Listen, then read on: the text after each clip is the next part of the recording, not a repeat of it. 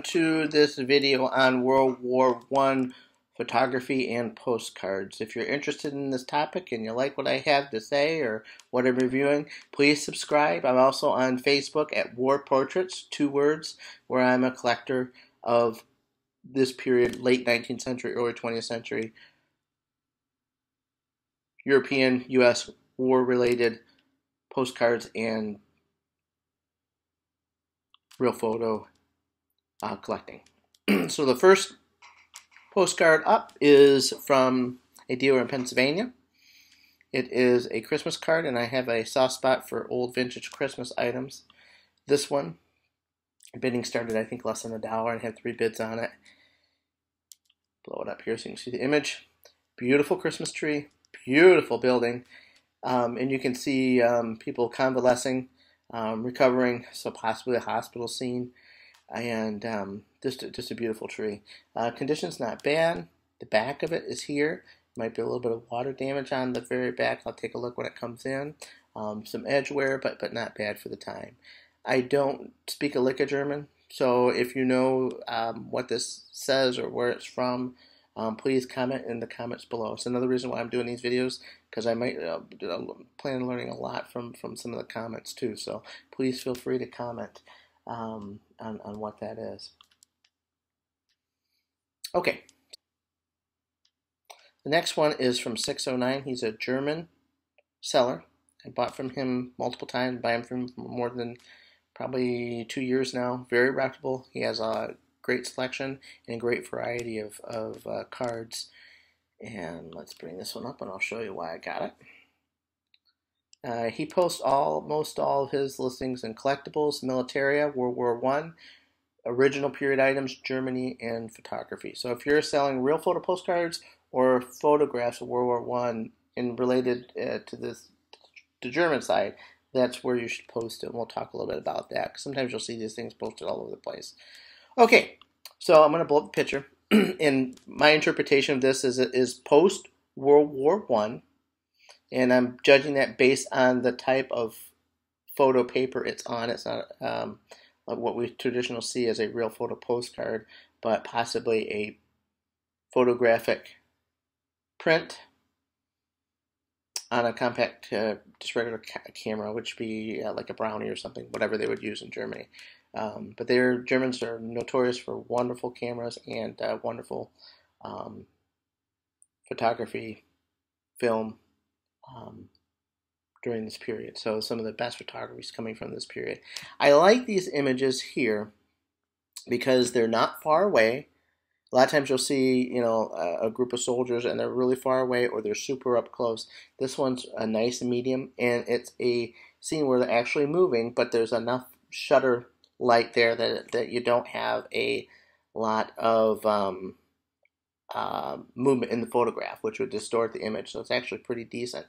And I'm guessing it's interwar period or right after the war because of the uniforms and they're wearing the, the caps.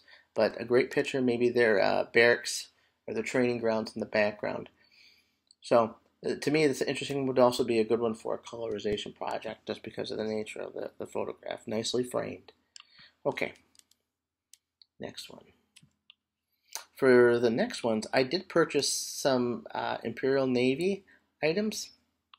Here is the SM, SMS Bremen, which was a ship, but also the namesake for the class of the ship.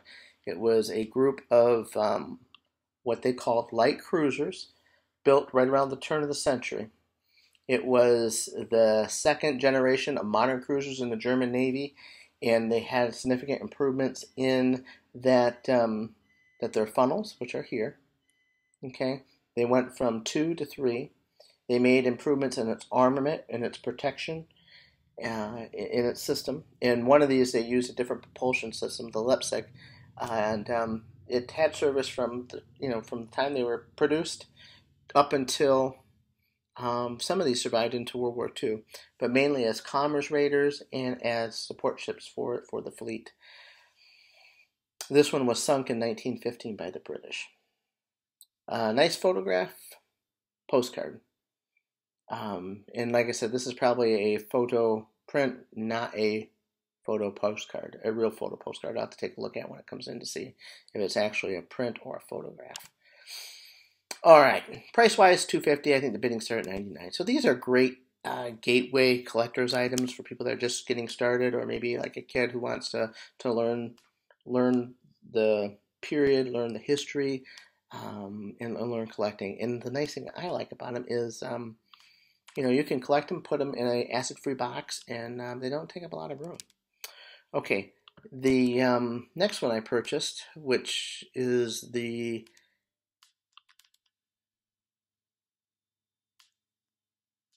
light cruiser. I'm not sure how it's pronounced, Nibble or Nibble, uh, but this is of the Gazelle class. So this is the first modern class of cruisers. So this pre is the pre cruiser to the Bremen class of light destroyers. You can see it has two funnels, a little bit smaller of a ship, had some different armament configurations um, than the next generation of the Bremen class and these also seen active, obviously active service uh, in World War One as well, but probably not as as much um, since they're a little bit older. but a nice, nice, nice photograph. Next one, postcard. The Hamburg. So the Hamburger was in the Bremen class. Beautiful ship. This one actually survived the war had engagements during the war, and then actually survived into World War II and served as a barracks, not barracks, um, berthing for U-boat crews and was sunk by the British in 1944.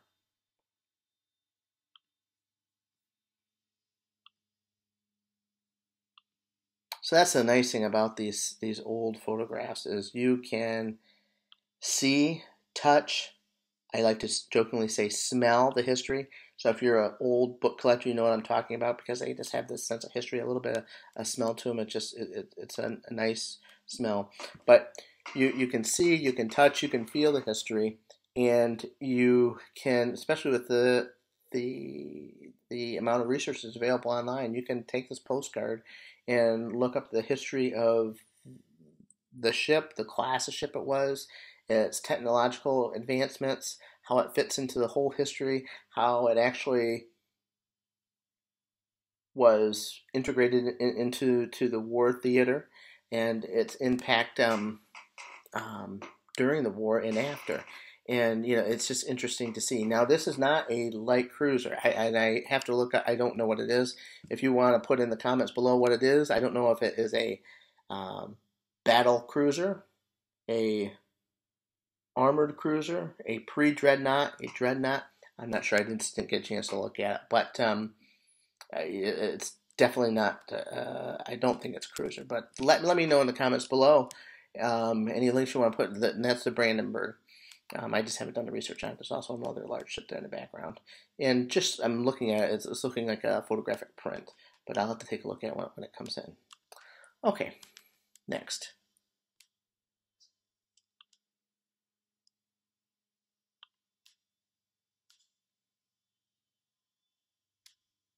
Okay. And this one, like the first photo, I bought it for its photographic qualities.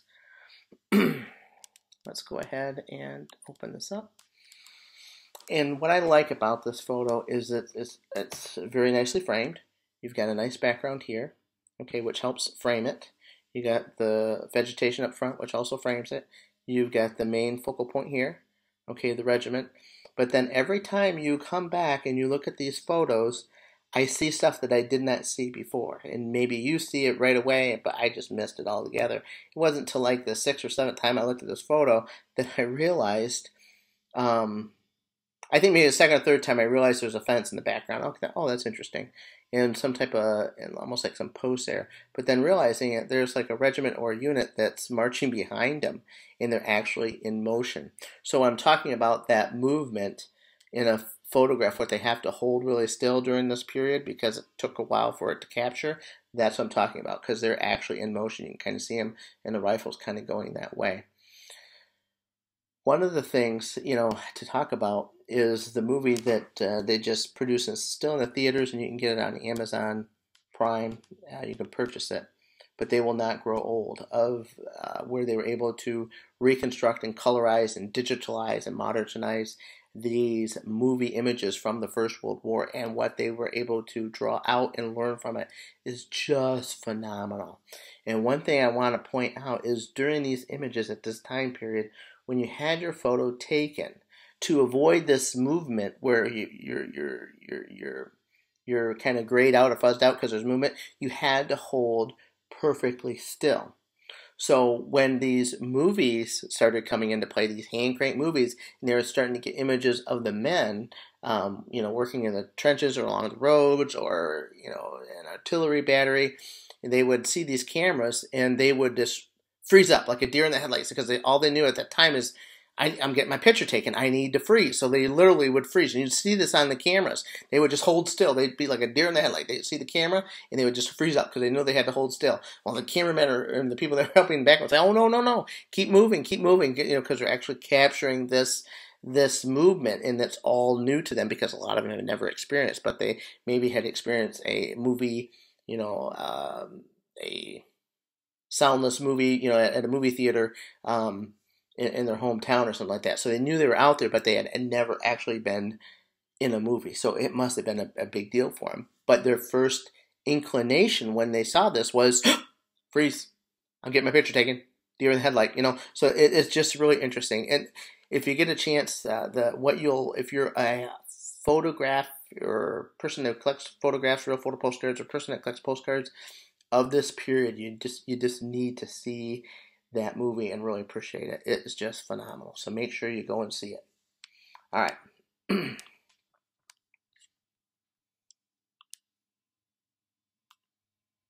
so that's all from 609. I did purchase a uh, a postcard, like a painted version of the the Hamburg, and I'd probably say this is my um, biggest win here out of this one. So after I purchased the one postcard of the SMS Hamburg, I did a search, an eBay search, this SMS Hamburg, and this came up on the UK eBay site. Now, look how he had this listed. He had this under art and art photography. You would have never found this if you were in the World War One section. So in some ways it was mislabeled. Now let's take a look at the, the photograph some of these photos were and I'll show you a few you know they can command 30 40 50 50 dollars. So the, and he did not this was not an auction this is a buy it now. So I saw it buy buy buy purchase purchase you know winner winner chicken dinner. Bought it right away um, just because I guess there's some uh, value on here. And two you know I've got the ships and you know so I'm really intrigued now to learn the history about this this cruiser class this like cruiser class and, and these ships but um, this is a 1913 postcard um, stamped in Kiel. And if I'm reading this right, this is September 13th. Uh, correct, correction, sorry. September 22nd of 1913. Uh, post or uh, stamped in Kiel. And um, as you can see, it's written. I can't make any of it out, especially cursive. But if anybody can, feel free to let me know. Um, or if they can make out the um, writing here, that would be great. But you know, that's the the thing I really enjoy about these is the history. Just think of the history that this group went through, the pre World War One years, during the war, how uh, World War One naval history is just fascinating, um, especially with um, the admiralties on both sides, the technology that's coming into play, the role of the U-boat, um, you know how the, sea warfare is constantly changing. And just think of after the war, this group here witnessed the the the defeat, possibly was active participants in the sailor revolt, uh, the Spartacus uprising. You know, were they communists? Were they social democrats? Were they more on the conservative side? You know, were they part of the Free Corps? Did they join the Merchant Marines and travel the world? You know, you know, what was their post World War One lives like? What was it like during the hyperinflation period? You know, that's just so fascinating. Um, and two, there is a interconnectedness with the past and photography. Um, there, there is a connection, and I don't know what it is. I say it's kind of voodoo-ish, um, but you, you do feel a a connection to the past through photography that you don't get anywhere else. Um, it's, it's a window into the past, um, and that, that's what I love about photo, photographs, uh, historical period photographs. Okay, especially this period because the photographs are so so important. All right, the other items purchased. I need to dig a little deeper. Let's see if it'll let me go a little.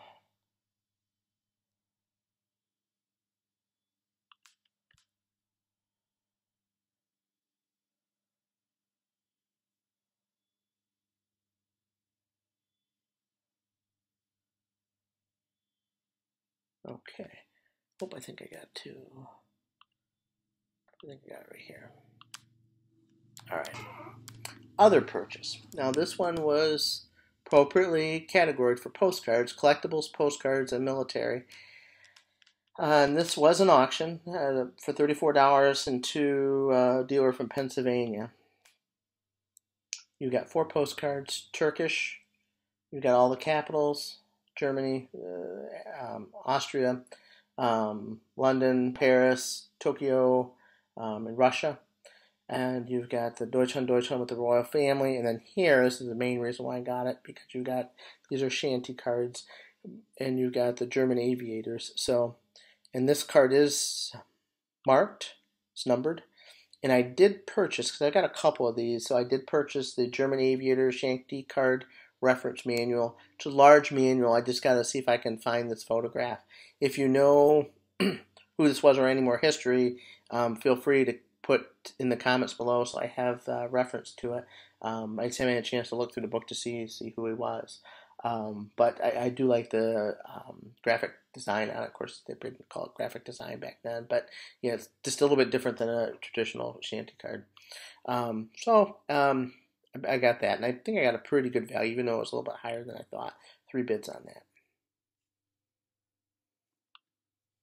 Okay, so let's look at uh, what I didn't win. Things I didn't win. Airplane pilot close-up image. There'd be a beautiful colorization. You also have a good uh, close-up of the engine. 22, 26. This one here, and I'll show you why. Um, it, uh, I think, has a nice perspective. If you're particularly if you're a helmet collector, interwar period. Look at the helmets. It's the air, the ear tear out style helmet, um, which uh, was World War One and up and through um, probably the 1930s, I guess. But if you're a helmet collector, um, that's a prized helmet, and then of course you got a picture to go along with it. And again, you can tell it is not uh, the World War One vintage uh, printing. It's more of your uh, 1930s, 1940s uh, print.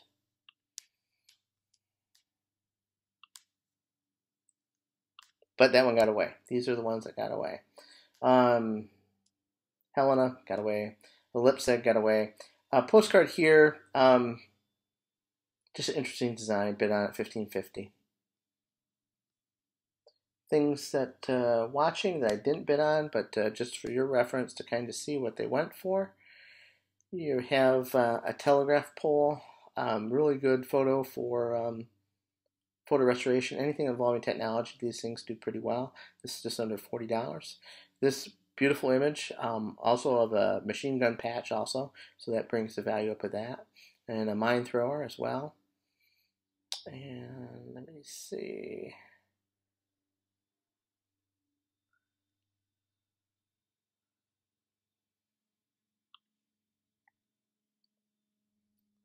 Um, anything with animals also does really well. So you got these standing at attention with their dogs. Um, and these off to war portraits, this is how I started a collection, but ones that are really good shape, show good uniform, photos in, in good good shape, uh, younger, um, they, they still command pretty decent um, amount. Condition and the you know photo of, of the soldier is, is key. Um, here is one, we'll open this one up, sold for 66 and this one, I really wish I would have gotten this one. Um, it was a neat um, town picture with a bridge going over it. That'd be beautiful for um,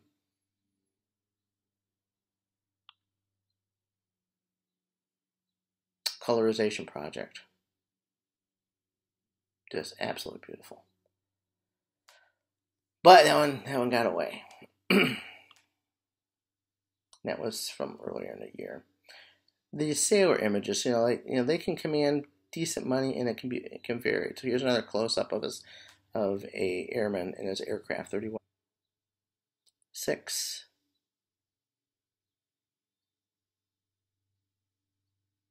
And here, here. This one went for 66. The Lugers, so if there's firearms in it, depending on the firearms, there can command a premium.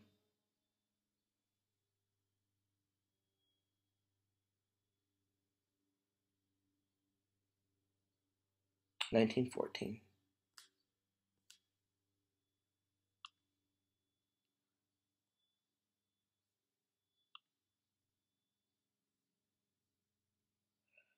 Um, very common for the period. I don't know if that's a rail car behind them. I'll take a look. Nope, just building, but shows the rifles. Not a bad image. Um, and about probably what you'd expect to pay, maybe a little bit more. Um, but again, this one, I don't think I bid on it, but just watched it. Okay.